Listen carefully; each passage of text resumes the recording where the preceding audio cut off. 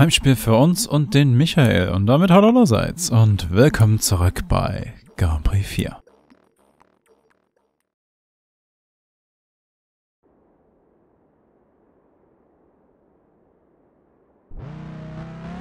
Nichts Rückwärtsgang. Ah, jetzt wo ich hier Siemens Mobile Business, einfach ein Business Blazer, ich wollte ja nachgucken, wie es um Euro Business steht. Fertig. Die Werbung, die wir in Silverstone gesehen haben.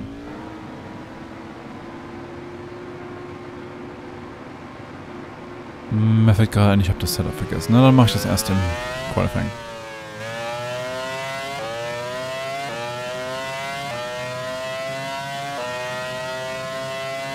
Oder ich fahre jetzt mal eine schnelle Runde und dann kommen wir rein und dann fahren wir nochmal mit dem anderen Setup. Das ist auch eine Möglichkeit.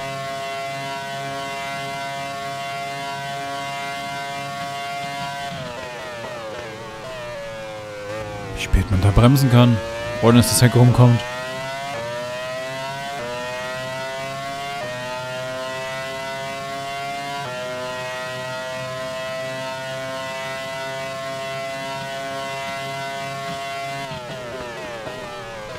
Das war jetzt zu spät. Das wollte ich aber auch wissen.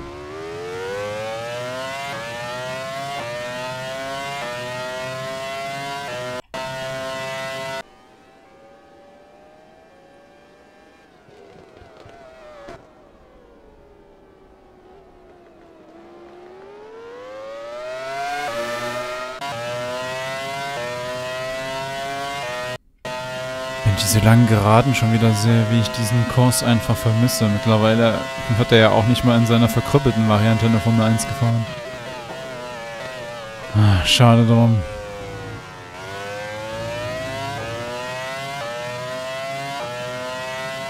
Ich habe mir jetzt mal letztes Rennwochenende zumindest zum Teil die 24 Stunden auf dem Nürburgring angeschaut. Das habe ich bisher in zumindest in der, in diesem Ausmaß noch gar nicht gemacht.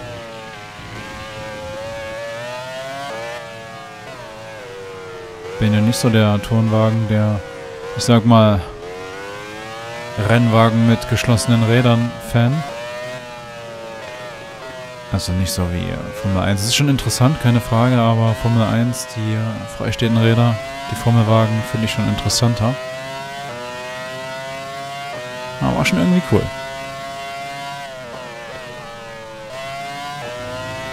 Aber ich zweiter außen.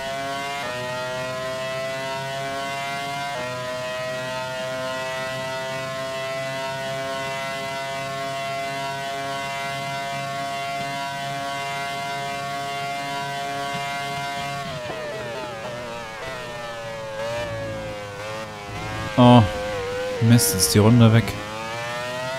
Für eine Vergleichszeit mit dann dem anderen Setup.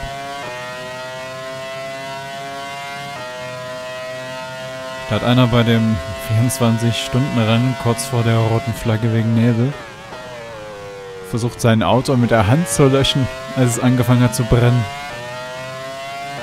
Der hat auch eine Benzinspur hinter sich hergezogen, die hat sich dann auch entzündet, aber allen voran Hinten rechts gab es ein großes Feuer und das hat er versucht mit seiner bloßen Hand zu löschen. das war lustig. Wenn auch gefährlich, das muss man dabei auch sagen. Aber putzig sah es aus, so eine riesige Flamme und er mit seiner Patschefoto da.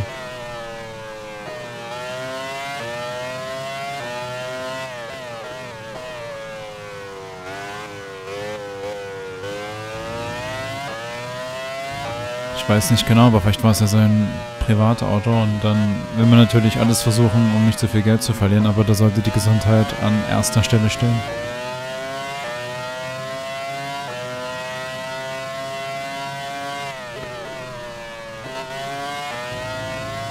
Das war auch mal eine ordentliche Kurve 1.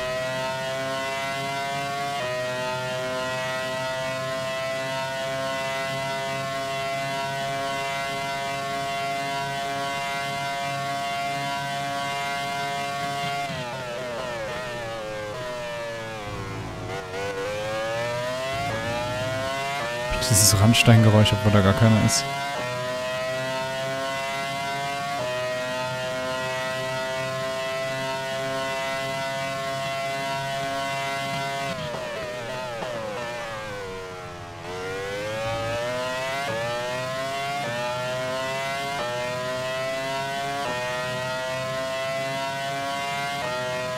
Jetzt habe ich gar nicht auf die Höchstgeschwindigkeit geachtet. Dann achten wir hier mal drauf. 48.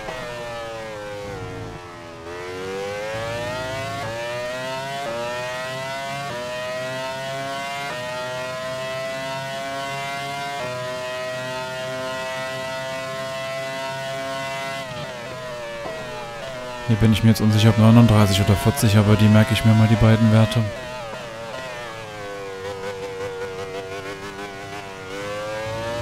Wobei wir fahren ja nochmal auf der langen Geraden mit Zufahrt auf die Jim Clark Schikane. Wir schließen die runter ab und dann geht es ja nochmal in die Innenlab. Oder auf die Innenlab.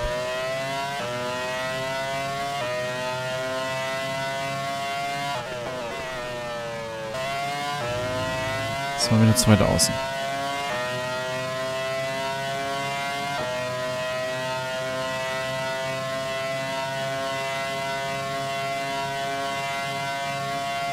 350 knacken wir. 52. Wir kommen rein.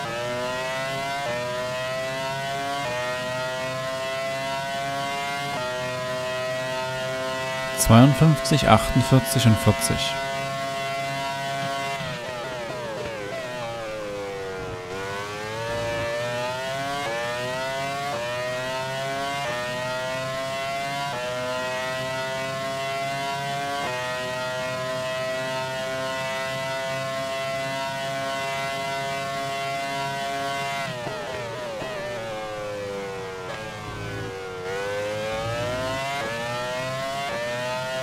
Liegen gerade noch auf der 8.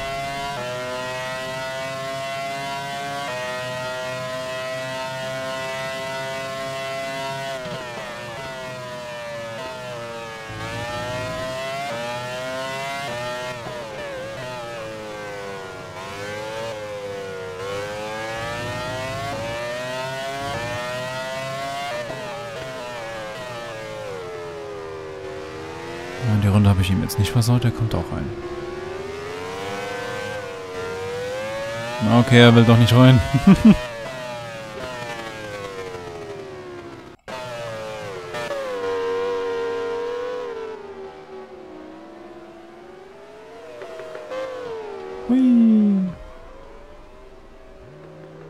Kann man machen.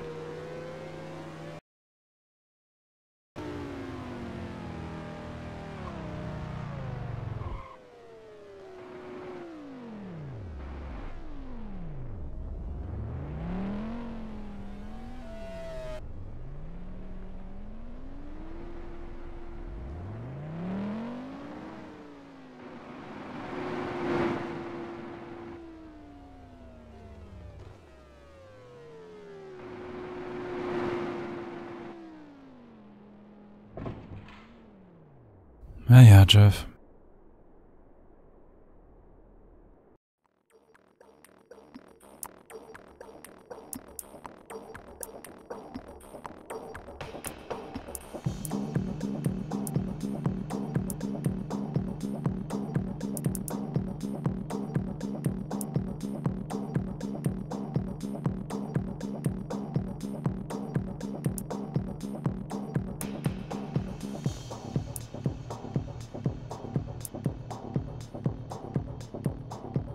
Na, gehen wir mal auf 31,5 statt 31.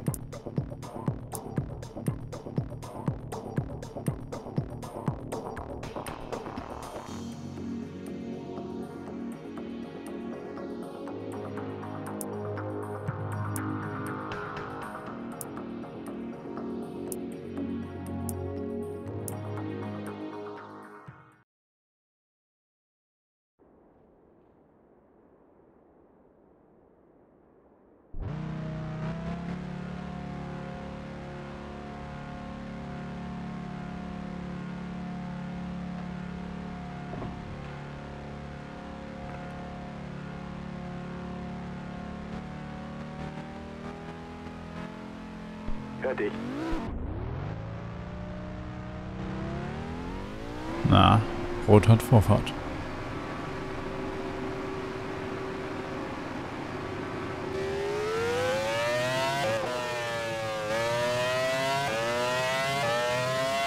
Geschwindigkeitstechnisch wird das jetzt auch relevant sein. Also dieses langsamer aus der Kurve rauskommen, aus der Box ist jetzt nicht so entscheidend. Wir erreichen schon deutlich weniger Geschwindigkeit. Die Endrundenzeit wird interessant. Wir müssen zum Qualifying weit nach vorne schieben. Das Heck wird wieder unruhig.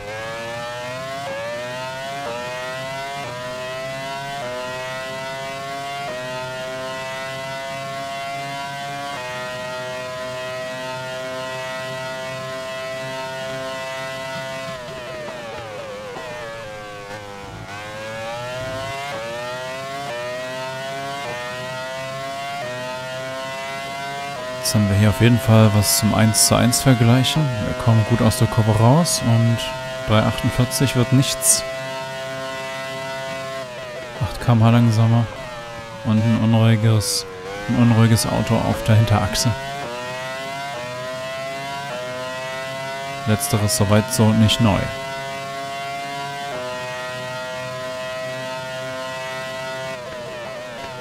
Auch hier fehlt uns einiges.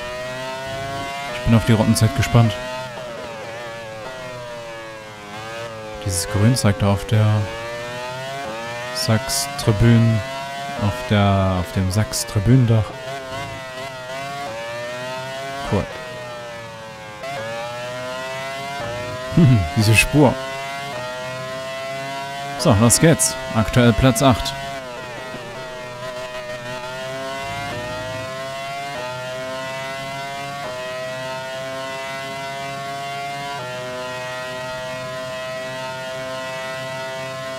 352.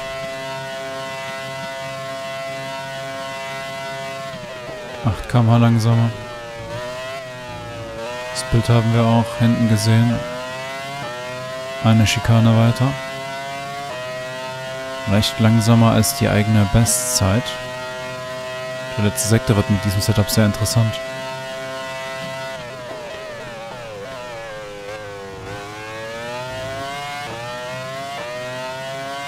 Obwohl wir 8 km/h langsamer sind, verlieren wir nur eine Zehntel. Vielleicht war ich jetzt etwas zu schnell in der ersten Kurve.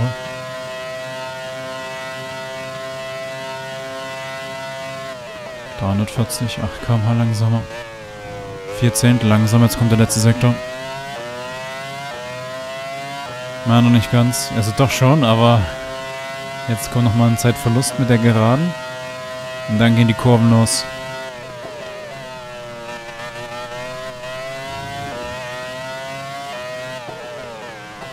War schon angenehmer zu fahren.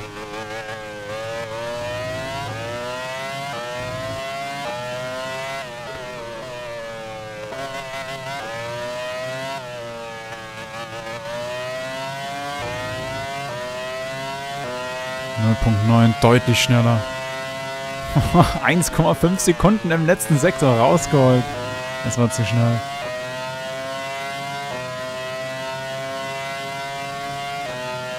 Wir haben uns sogar verschlechtert, so gesehen. Jetzt wir auf der 9. Aber das ist heftig. Ja, auf der Geraden deutlich langsamer. Aber im letzten Sektor 1,5 Sekunden Gewinn. Das Problem für das Rennen ist dann halt, im letzten Sektor kannst du nicht wirklich überholen. Und dann bringen ja auch die 1,5 Sekunden, die du da hinten schneller bist, nichts, wenn du einen lahmen Arsch vor dir hast.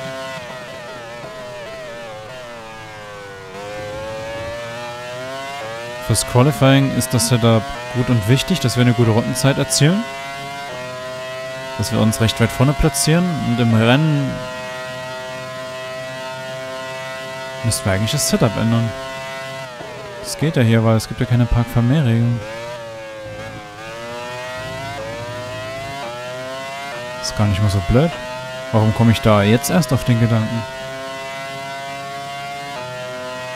Im letzten Sektor kann man uns nicht überholen. Dann können wir auch hier Einfahrt ins Infield nicht angegriffen werden, wenn wir sch oder schlechter angegriffen werden. Wir können aus der letzten Kurve raus angegriffen werden, aber auf der Geraden geht es der Konkurrenz dann nicht so gut. Die nächste Runde wird vielleicht die In-Lab. Je nachdem, wie sie wird. Vielleicht fahre ich sie zu Ende, vielleicht auch nicht.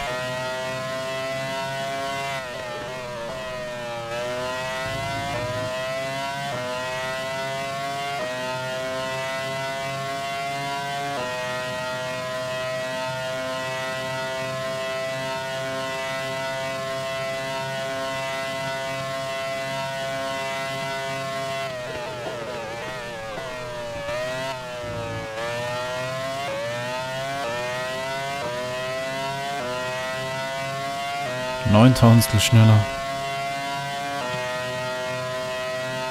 Die Unterbodenabnutzung kann man vergessen, da nutzen wir sogar ausnahmsweise mal hinten mehr ab als vorne. Das denke ich war schneller als in unserer bisher schnellsten Runde.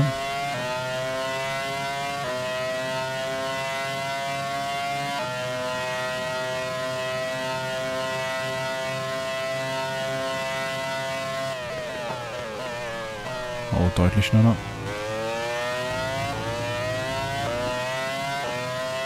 Mal gucken, wie ich den letzten Sekt jetzt hinbekomme. Ich fahre die Runde zu Ende.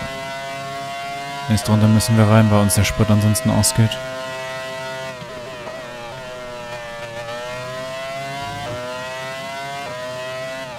Das war ein guter Beginn des letzten Sektors so gesehen, auch wenn der schon bei der Senna-Schikane begonnen hat.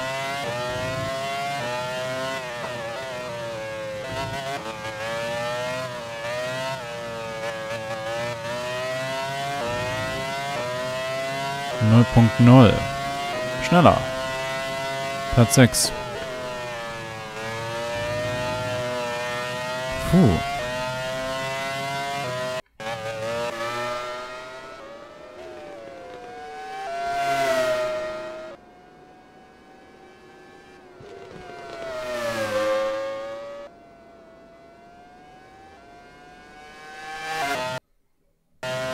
Muss schon wieder an den 900-Grad-Dreher von Villeneuve denken, nachdem er da mit seinem Teamkollegen zusammengekommen ist im Jahr 2000.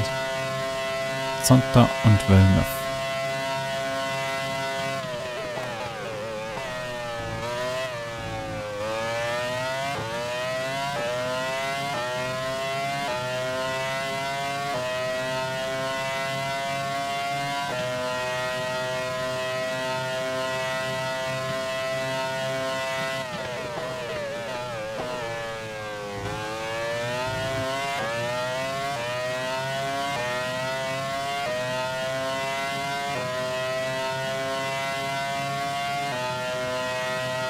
Hinten links sind der Unterboden am meisten abgenutzt. 0,03.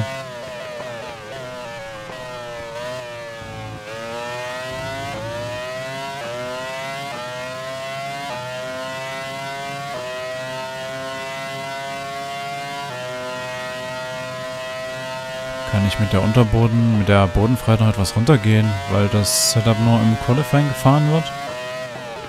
Im Rennen nehmen wir das Standard-Setup, weil wir auf der Geraden schneller sind.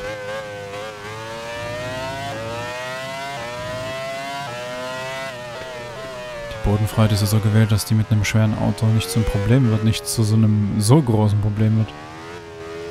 Vielleicht wird das Heck aber auch noch unruhiger beim Anbremsen. Ich werde es sehen.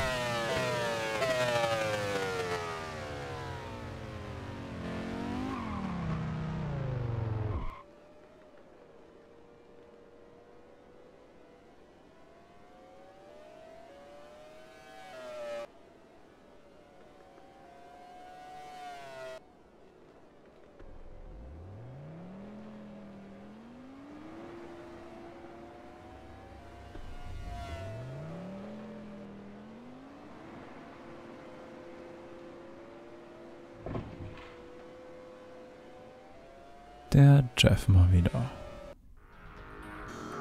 Der wird auch wieder im Qualifying seine Wasserspielchen treiben und bis zum nächsten Mal. Macht's gut und ciao, tschüss.